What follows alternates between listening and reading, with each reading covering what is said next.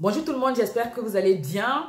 Alors, suite à ma dernière vidéo, il y a beaucoup de personnes qui ont pris la sage résolution d'arrêter le lait de vache et de le remplacer, si nécessaire, par du lait végétal. Donc, c'est une très bonne résolution. Mais du coup, je me sens obligée de vous apporter quand même une précision de la plus grande importance parce que les laits, les laits végétaux, il y en a plein. Et en fait, euh, donc vous avez le lait de soja, vous avez le lait d'amande, de noisette, d'avoine, etc. Et en fait, il y a un lait en particulier que je vous conseille, c'est le lait de soja, parce que c'est un lait qui est vraiment sur la, sur la sellette, le soja en fait. Ouais, je sais, vous allez me dire, euh, ouais, mais docteur, vraiment, c'est compliqué, finalement, qu'est-ce qu'on doit manger, etc. Je sais. Et euh, je préfère le faire parce que quand j'ai fait ma conversion aussi au lait végétal euh, il y a quelques mois de cela, euh, je me suis ruée en premier vers le lait de soja parce qu'il faut le dire, c'est celui qui est le moins cher des laits végétaux. Donc je suis partie vers ça, mais comme je continue à, voilà, à, me documenter sur tout ce qui est alimentation, je m'informe beaucoup, je regarde des émissions, j'écoute des professeurs et je me suis rendu compte que le soja, malheureusement, le soja qu'on a aujourd'hui, c'est un soja dont la semence a été modifiée il y a quelques années de cela, comme beaucoup d'autres euh, aliments qu'on consomme. Hein, malheureusement, il faut que vous sachiez qu'il y a beaucoup de choses euh, qu'on consomme. Euh, en fait, c'est des semences modifiées. parce que malheureusement, les agriculteurs sont plus à l'affût de la rentabilité que de la qualité. C'est-à-dire que si par exemple, on va prendre quel exemple, les fruits et légumes. Je ne sais pas si vous avez remarqué que mais quand vous allez au supermarché, vous, vous voyez par exemple, disons, les tomates. Je ne sais pas si vous avez remarqué, mais les tomates au marché, au supermarché, elles sont toutes pareilles. Elles ont la même couleur, elles ont la même taille, le même calibre, euh, la même consistance, enfin, elles sont pareilles. Et vous ne vous êtes peut-être pas posé la question de savoir pourquoi. Hein. Est-ce que nous, à l'époque, moi je me souviens euh, quand on était au pays, quand ma maman achetait des cajots de tomates, les tomates, elles n'étaient pas toutes pareilles. Il y avait des grosses, il y avait des petites, il y avait des rouges, il y avait des rouges clairs, il y en avait qui étaient cassées, etc. Mais non, au supermarché, il n'y a que des très jolies tomates. C'est parce que malheureusement, c'est des tomates dont la semence a été minutieusement fabriquée au laboratoire. Et oui, parce que les agriculteurs se sont rendus compte que euh, les, consommateurs consomment d'abord avec leurs yeux. Quand on va au supermarché, on prend ce qui est joli. Les tomates qui sont un peu bizarres, qui ont des formes bizarres, en général, on les laisse de côté. Du coup, ils ont fait des semences euh, avec de jolies tomates.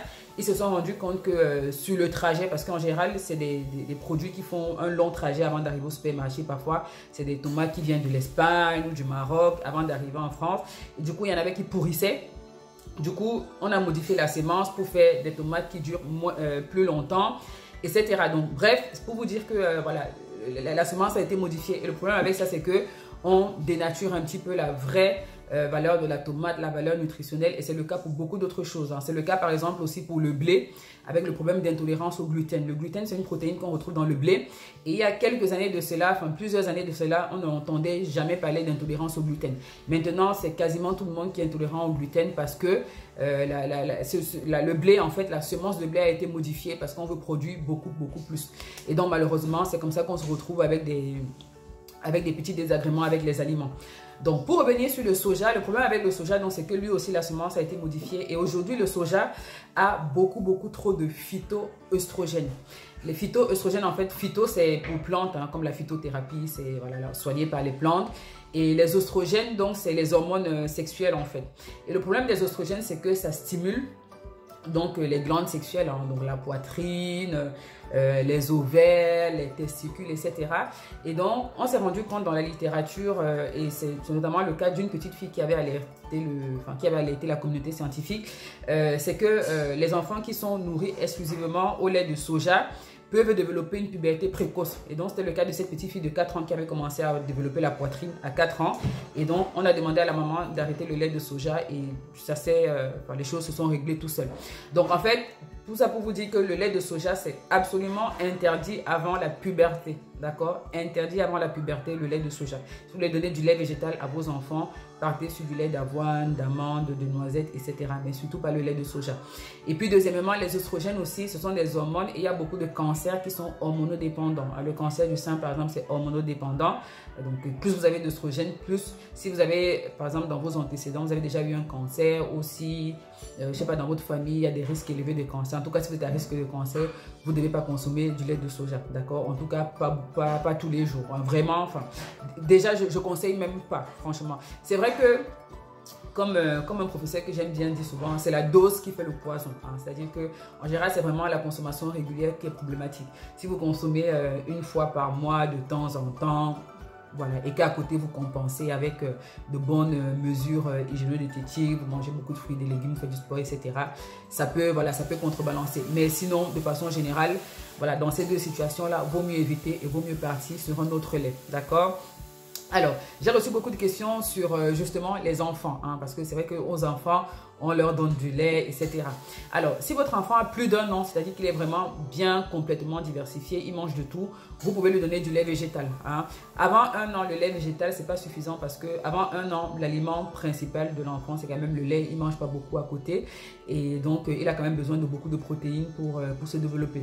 Donc, avant un an, déjà, le lait euh, le plus le plus recommandé, c'est le lait maternel, bien évidemment. Mais si vous ne pouvez pas allaiter, vous pouvez donner du lait de vache. Hein, si vous donnez pendant un an euh, sur toute sa vie, c'est pas grave. Ou mieux, si vous avez des moyens, euh, du lait de chèvre ou du lait de brebis. Brebis, pardon. D'accord? Ça, c'est ce que vous pouvez donner avant un an. Après un an, vous pouvez donner du lait végétal parce que l'enfant, il mange et il doit manger parce qu'après un an, le lait seul ne suffit plus. Il doit manger. Il a des apports euh, dans d'autres aliments. Hein. Vous lui faites bien manger fruits, légumes, protéines, hein, viande, poisson, etc. D'accord? Alors, pensez aussi pour euh, le petit déjeuner des enfants à varier, à diversifier. Il n'y a pas que le lait. D'accord? Vous pouvez, par exemple, de temps en temps leur proposer du thé aux fruits exemple, vous pouvez prendre du thé aux fruits rouges. Moi, mes enfants, ils aiment bien le thé aux fruits rouges. Je fais ça le matin, je mets un peu de miel à l'intérieur et quand ils boivent, euh, ils ont l'impression qu'ils boivent du, sirop de grenadine. Donc, vous pouvez par exemple leur donner ça, vous mettez une tartine à côté avec des fruits. Vous pouvez leur donner ce que je fais aussi souvent, la bouillie de chez nous, hein, vous savez, avec la poudre de maïs. Voilà, vous essayez de varier. Voilà, vous n'êtes pas obligé de donner du lait tous les jours. Hein. Vraiment, comme je vous l'ai dit, euh, à partir du moment où on est diversifié, on a tout ce dont on a besoin aussi dans l'alimentation.